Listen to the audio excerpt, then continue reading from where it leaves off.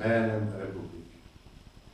Soud nakonec dospěl k závěru, že vás uznal vinným, ale pozměnil zcela obžalobu, nebo ten, to, co byla skutková věta ta obžaloby, potom to zdůvodní, proč to změnil a jak to změnil a uznává vás vinným tak, že jste dne 24.6. na 12. 16.30 v Aližově podle si okres Karviná na ulici 17. listopadu v prostoru parkoviště situovaném před obchodním domem Hruška prostoru obytné zóny jako řidič osobního motorového vozidla, automobilu, tovární značky Ford Focus RZ5 T8 4293 zahájil cování se svým vozidlem z parkovacího místa, přičem nedbal zvýšené opatrnosti a proto při cování došlo ke střetu s dítětem, a to s nezletilým narozeným 15.6.011, tělesné výšky 75 cm, kterého zadním kolem přejel, čímž mu způsobil poranění v podobě zmoštění z mozku a kmene mozkového, co se jedná o zranění neslučitelná se životem, na jehož následky nezletilý dopravy nehody zemřel, čímž porušil ustanovení paragrafu 24 odstavec 2 zákona číslo 361 lomeno 2000 sbírky, tedy jinému z nedbalosti způsobil smrt, čímž spáchal přečin usmrcení z nedbalostí podle paragrafu 143 lomeno 1 trestního zákonníku. A za to se odsuzuje. Podle paragrafu 143 lomeno 1 trestního zákonníku se odsuzuje k trestu odnětí svobody v trvání jednoho roku, jehož výkon se podmíněně odkrádá na zkušební dobu 18 měsíců. Podle paragrafu 73 odstavec 1 3 trestního zákonníku se vám dále ukládá trest zákazu činnosti, spočívající v zákazu řízení motorových vozidel na dobu 21 měsíců.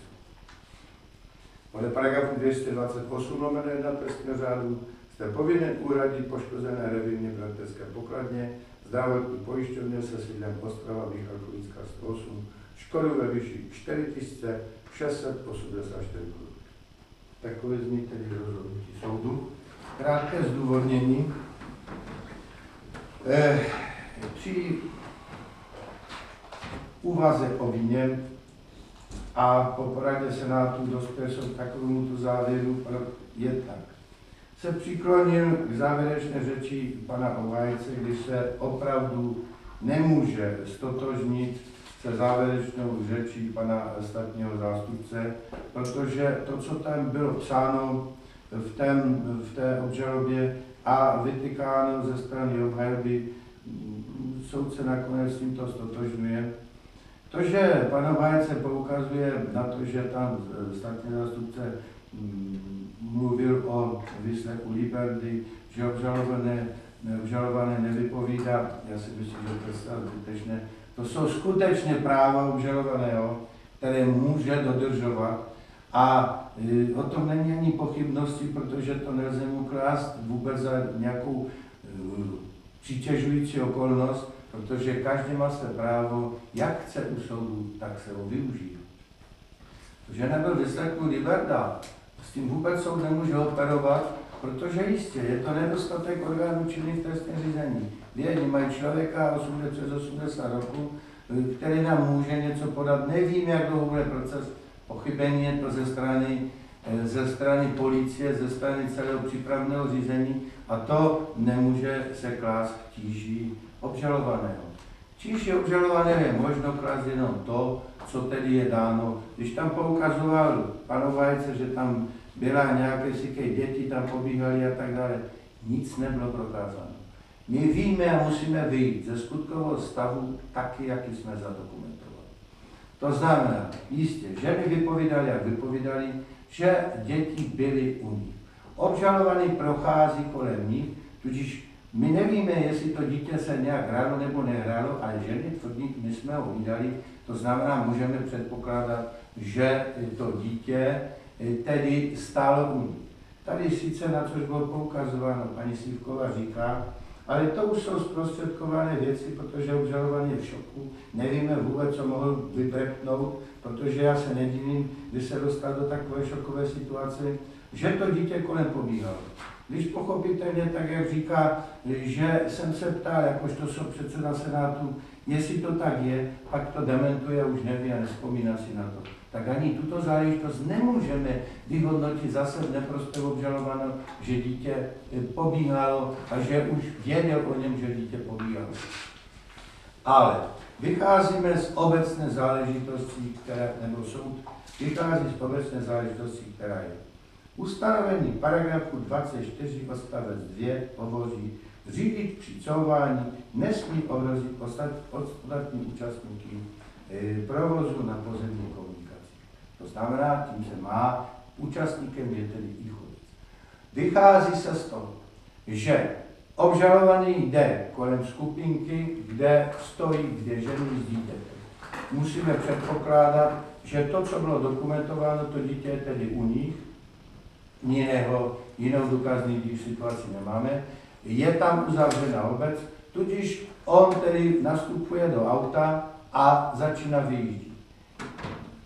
Přitom to, co poukazoval znalec, i nakonec Ovajce, při vyjíždění z prostoru mezi auty se musí věnovat pozornost tam, tam, tam, tam, tam, to znamená zvyšená pozornost. Nehovořím, my jsme už tady nedávali tak nakládá za vinu, že musí si tedy o nějakou si to měl zajistit další osobu. Ale bohužel, když nevidím, nejsem si jistý, nemůžu vědět, můžu to auto jenom vycouvat. Z toho tedy tady plyne i to, že nelze obžalovanému přířez vině to, že jedná se o nedbalost, která je ve smyslu paragrafu 16 odstavec 1 písmeno A, to znamená vědomost. Co tady se přikloní k tomu, že se jedná vyloženě nevědomou nedbalost, protože ví, že tam stojí lidi, ví, že tam stojí děti a proto nevědě, že se jednání může takovéto porušení nebo ohrožení způsobit, ač o tom vzhledem k okolnostem a se musí povědět vědět měl a mohl. On to vědět měl a mohl. Proto je to bohužel je to obecné ustanovení, není to ustanovení, které je mu kladeno, jak tady, že porušil důležitou povinnost, to ne, tomu nelze připočít, přičíst, ale je to obecné ustanovení, které měl respektovat, měl, ať si ho zajistí, jak chce. To zákon 361 neřeší. Naopak, ještě když si podíváme na ustanovení paragrafu 4 zákona číslo 361, kde hovoří, že e, při účasti na provozu na pozemní komunice je každý povinný chovat se ohleduplně. Bohužel i toto je ohleduplně a ukázně. I ta ohleduplnost je, když tam vidí, že tam budou, budu vlastně couvat ve směrem k těm lidem, kteří tam stojí. Nemůžu předpokládat, co se stane. Nemůžu. To je, jak to tady nevěděl. Ale ačkoliv z okolnost nevědět, ne a mohl. Proto jsou tedy pozměnil celou skutkovou větu.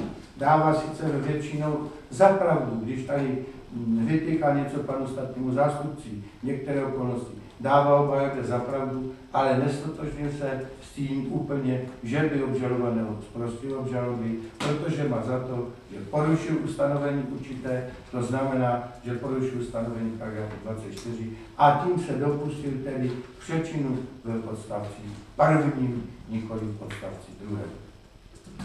Toto je prosím krátké zdůvodnění celého, celé této kauzy, která se vleče už tak dlouho, když eh, nakonec vidíme, že byl proveden vyšetřovací pokus, ale i ostatní účastníci, kteří tam byli, že bylo to směrováno všechno jedním směrem. Proč?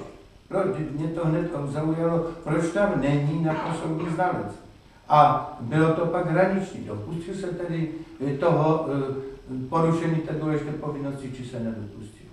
Nakonec dneska z eh, vypovědi, kdy to bylo na popud soudu, že byl vy, vyslechnut znalec oboru soudního lékařství a znova byl vyslechnut eh, znalec oboru silniční dopravy, jsou tedy dospět k závěru, že se nepůjde o důležitou povinnost, ale bohužel půjde o obecnou povinnost, která mu vyplývá z zákona číslo 361 a proto tedy, tedy ten první.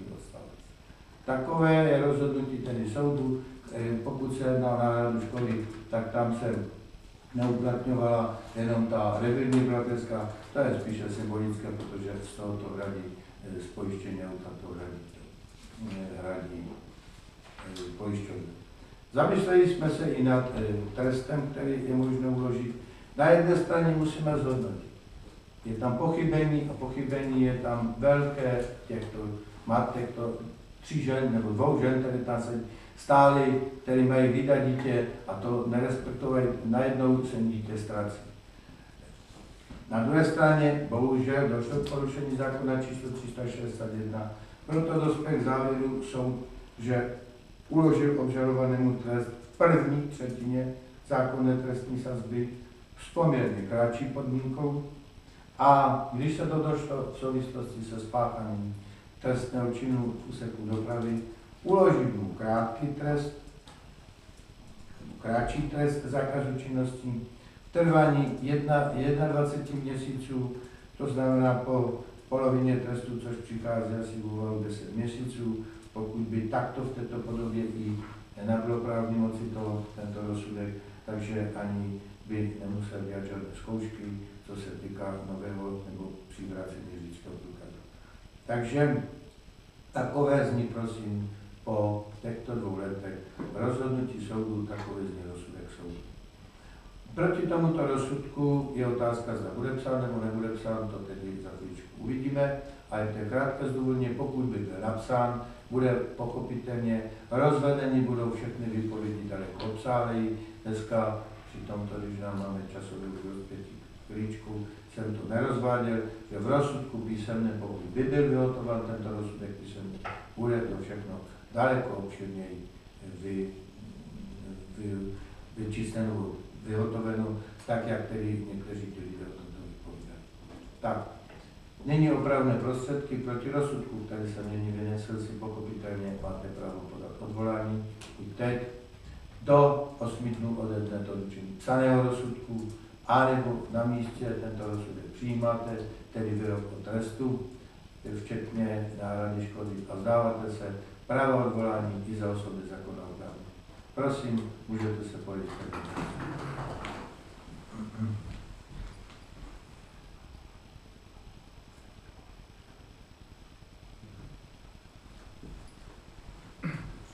Pane předsedo, Hm? eh, v poradě s klientem eh, ve všem ústě soudu eh, položil rozsudek za nesprávný eh, v tomto směru. Dáváme odvolání jak do eh, výroku o víně, do výroku trestní, tak do výroku na hraděžku. Pamatujte eh, na paragraf 251, až dostanete rozsudek, pan státní Já se nevyjadřuji. Vy se nevyjadřujete dobře, děkuji. Rozhodnutí takhle. Tak rozhodnutí.